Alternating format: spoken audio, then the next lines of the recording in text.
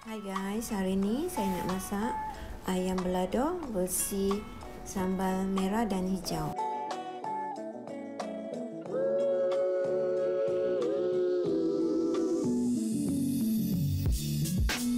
Mula-mula kita potong lada hijau anggaran dalam 7 biji. Kita potong kasar ya.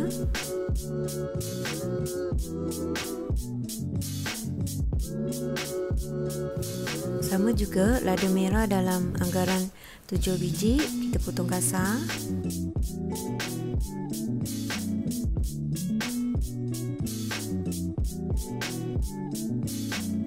Satu biji bawang bombay kita potong bulat untuk ditaburkan uh, masa last kali kita masak.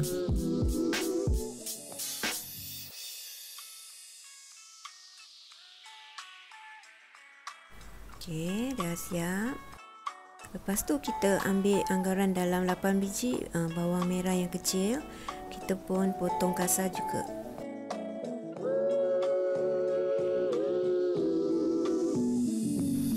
Putih anggaran dalam 7 biji potong kasar.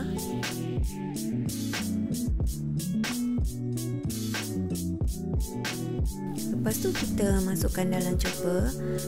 Kita kisar dia ya.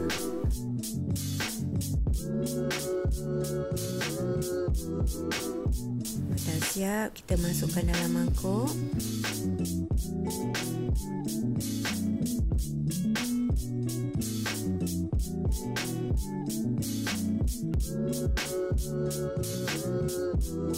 Lepas tu uh, kita dah boleh masukkan lada merah dengan lada hijau yang kita potong kasar tadi ya. Kita kisar kasar juga.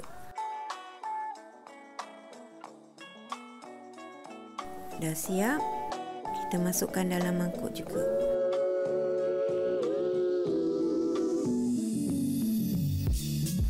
Kita dah mula boleh siapkan ayam uh, untuk digoreng ya. Ayam ni kita masukkan seperti biasa kunyit dan garam.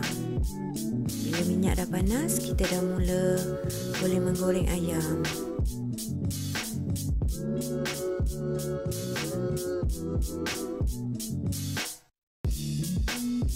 Bila ayam dah masak separuh, kita balik-balikkan dia supaya sekata ya.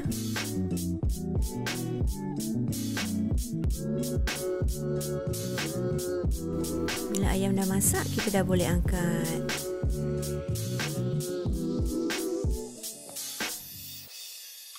Okey, sekarang kita dah mula nak menumis ya. Mula-mula kita masukkan serai, lepas tu kita masukkan bawang yang kita dah blend tadi. Lepas tu kita gaul rata-rata. Baru masukkan uh, lada merah dengan hijau tadi tu. Kita gaul sekata. Kita masak sampai dia garing ataupun uh, naik bau eh. Masukkan gula, garam secukup rasa.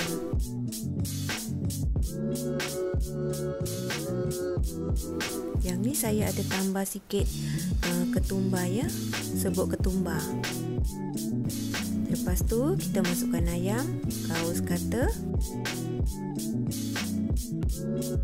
Gaul-gaul-gaul dia. Lepas tu kita dah boleh masukkan bawang bombay yang kita potong tadi. Kita gaul dia sekata dah rata. Dah siap. Kita boleh hidangkan.